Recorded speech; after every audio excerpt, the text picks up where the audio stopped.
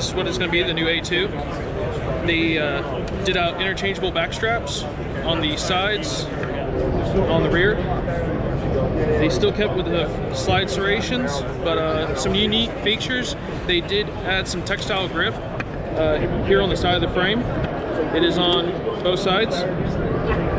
They also changed the serial number location from the bottom of the polymer Picatinny rail to the side, so now it is a part of the chassis. The controls are real good and they've improved the grip. So everybody that was asking about uh, improved grip texture, uh, no more need for grip tape. They recut all into the teardrop mag uh, wells, side of the trigger guard, everything. Uh, still kept with the trapezoidal sights. Uh, they are offering in the L and M. And I'm looking here, I do not see a C, a C model yet, but M and L, they kept the weight, they went to a full 1913 Picatinny rail. Still running a uh, polymer guide rod. But one of the main features they now have a flared magwell. So everybody that was asking for it, the new gun is going to have a flared magwell. It has three of the different uh, grip textures that can be expanded for width and the depth. Magazines look like they have a new floor plate. These are 17 round mags.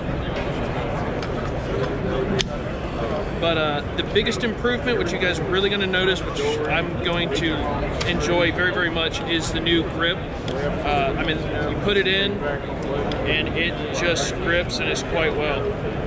So this here is the new pistol. Positively.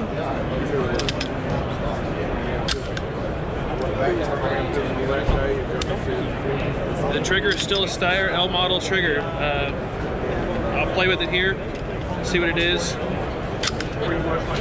The, uh, the trigger pull, got good spring take up. The safety's a little bit more pronounced, but it is there. And it is more audible. Let's see what the reset sounds like.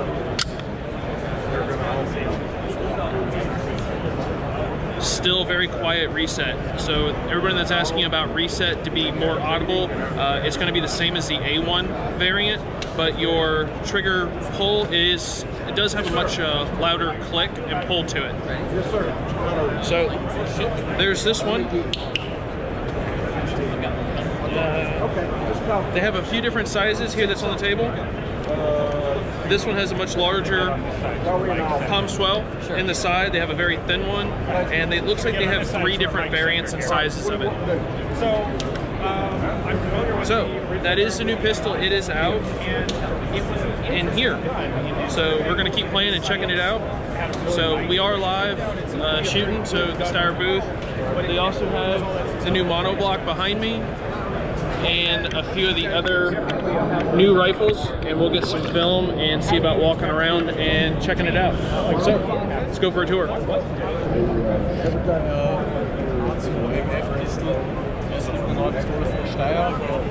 auch darüber werdet ihr, wenn ihr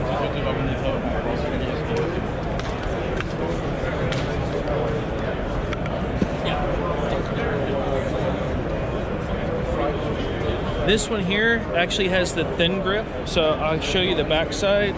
You guys can see how narrow it is. It is the same as the factory uh, A1 grip side. There is the older for a size comparison. So, obviously more touchscreen. Something to do with the sides. It has M and L. Okay, back. Interchangeable back flare neck weld. Brought the lumbar chamber indicator back. Okay.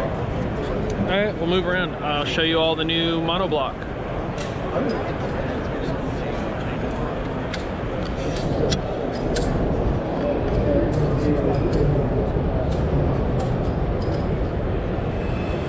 scout rifle. It's a Steyr scout. I've got two of these. Here's the new Carbon that is out. This is their brand new uh, hunting rifle. This is the next step over the THB. And the whole stock, I'm hoping you guys can see it, but the whole stock is carbon fiber with a beautiful inlay. And still comes with a very, very pronounced hammer forged barrel. Now, in the last video, sorry guys, the, the service here is a little spotty, so if it cut out and there's gonna be a bunch of live videos, I do apologize. I'm trying to do the best with the way with uh, steel building.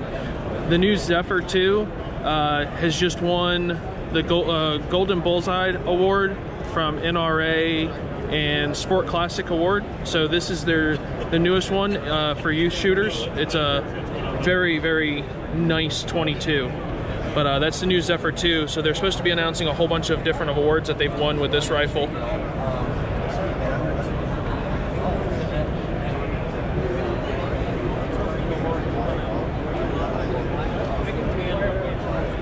All right, guys, here is the new McMillan uh, stocks on the uh, THBs. Now, if you saw my last video, the THB, the heavy barrel, this is the same same gun that I had, but this is the new McMillan stock.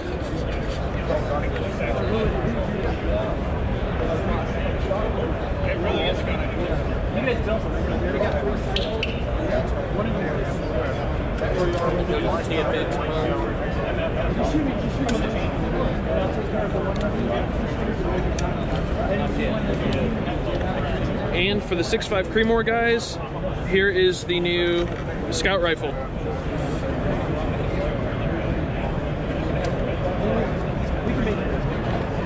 I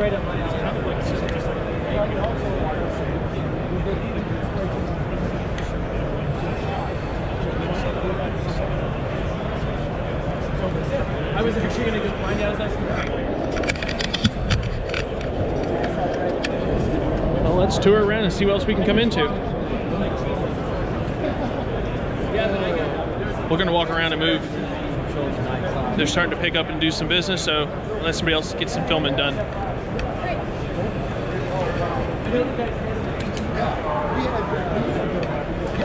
I'll try to take you guys over to the Horns Defense booth and uh, let's see what they're doing. See if I can get them on an interview. Morning, gentlemen. Can I bug one of you guys to tell me what Corvus has come out with for the AUG for this season? I say we're live on on uh, YouTube. We're filming, letting everybody for the Steyr Club and uh, T and Steyr, you know, see what's going on. So, good morning, Good morning. Hi, I'm Florian from Defense. Nice to meet you. USA. We have uh, all the rate, rate, cards in the new in, uh, envelope. Uh, so far, they are available only in KeyMod. Yep. All right. Uh, we have a new charging handle. The new charging. Charging handle, which will be uh, you can uh, unscrew this uh, this part here, and then you can uh, change the angle uh, depending on if you have a, a optic with a screw that you want to protect your fingers from. then you can uh, move it uh, to the outer side, and it will be. Uh, you can move here in the forward uh, position, but when you pull it back, it. Uh, it's locked so that it can, it can flip over and you have a tight grip on it uh, all the way to the back. Ah, so no more uh, chewed up knuckles. no mature and knuckles. Uh, so what else is new? Uh, we have this uh, Aimpoint adapter. Uh, you have here a TA33 uh, from Trijicon, ACOG, and an Aimpoint micro. And this uh, part, the flat dark earth, uh, this is from us. Uh, you can mount it uh, very, uh, very low down, um, very close to the barrel, and still have two optics, uh, three uh, uh, optics, and uh, just a, a red dot on top of it. Keeping your sight alignment to bore axis, that's all as low as possible. Yes, exactly. Yeah. I'm, I'm familiar with your case deflectors and everything. Are there any improvements, or is it still the No, we original? just uh, uh, we started out with just the standard uh, right-handed uh, case deflector. Now you can uh, get it for a left-handed version and the NATO stock as well. Oh, so great. It, it does the same thing, uh, but uh, for uh, it's uh, three different versions. Okay. Um, So you have that. I know you did the new front rails, uh, or the exactly. This is uh, M-LOK available uh, soon too. Um, this is uh, mounted instead of the uh, standard collapsible foregrip. Oh, great. Um, it's just so that you can mount uh, Picatinny rims on it or directly mount, uh, like here, this foregrip on it. Uh, you can uh, choose uh, where you want your foregrip depending on the length of your arm or if you're uh, wearing a body carrier.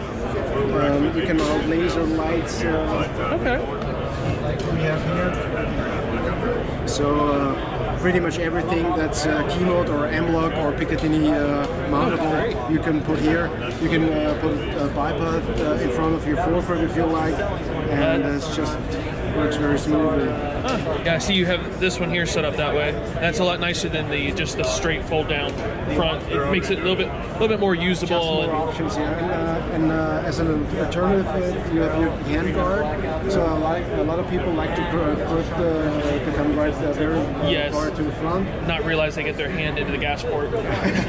Yeah, we uh, here on the right hand side, uh, the, gas tube, we have a little heat shield so that you uh, can shoot it even without gloves. Uh, your fingers won't burn if you hold it here. Oh. And uh, the gas is deflected forward so you don't get it back to your face. Oh, great! So still forward forward deflection. Forward deflection, and uh, we will have this in uh, M-LOK as well. Uh, this is a free floating barrel in this because the, the, the hand guard is mounted to the receiver rail. Oh, and the okay. receiver rail is uh, mounted to the housing, so uh, nothing touches the barrel in this setup. Oh, that's nice. Yeah. Very nice. Um, what else do we have? Uh, we have uh, the anti-rotation bolt. Uh, works especially well.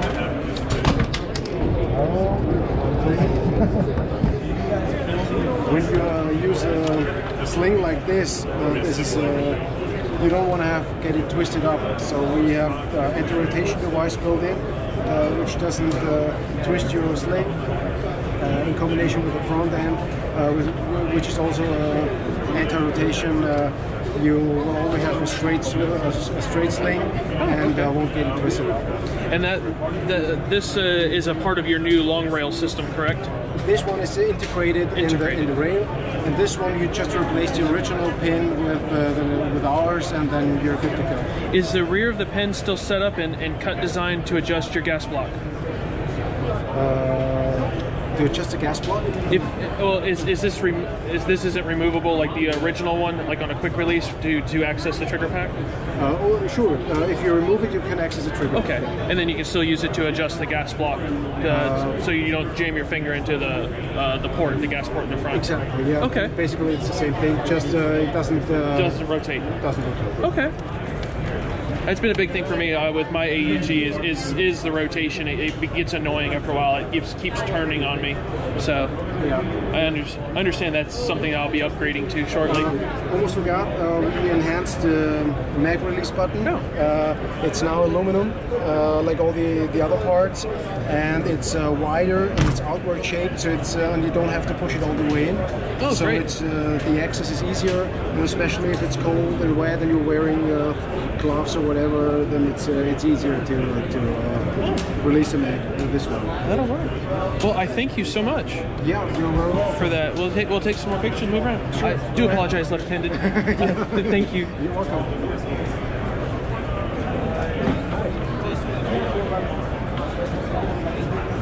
Gonna be back.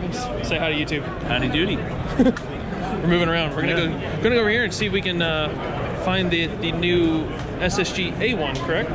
The A1, the 08 A1's right here. The 08 M1, M1. is on that bipod or tripod. I'm gonna have to get uh, used to the difference in the A1 Yes. to the M1. So it's M1.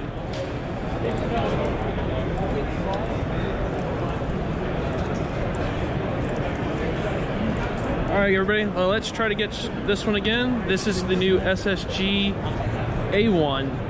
Uh, if you caught the last part of the video, I think we lost service, but uh, we'll get back into shooting and showing you what this one is. Uh, we'll be happy to announce, I believe we're going to be picking one of these up come July or August. So this here is the new one, and it is in 308 and 338, and has the quick interchangeable barrel system.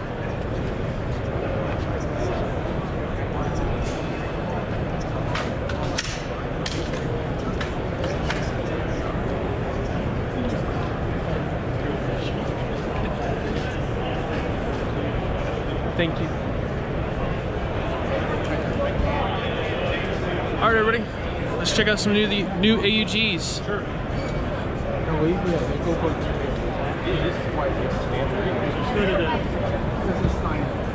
All right, guys, I am happy announced for the AUG people. I got it direct from the CFO. The 300 blackout version is coming. It is not here at the SHOT Show. Uh, it is something they are working on. They're hoping this year. Uh, they have the design, they have the gun worked out. They are just gearing the manufacturing for US. So anyone that is doing 300 blackout that has been wanting the new the new rifle or barrel, whatever, however they're going to release it, they're going to try for later this year. Is, is the hope, but uh, it's just in setup for the manufacturing. So it is coming, and I got that directly this morning from our nine o'clock meeting. So you just have to be a little bit more patient with the with the timing for letting them get it out.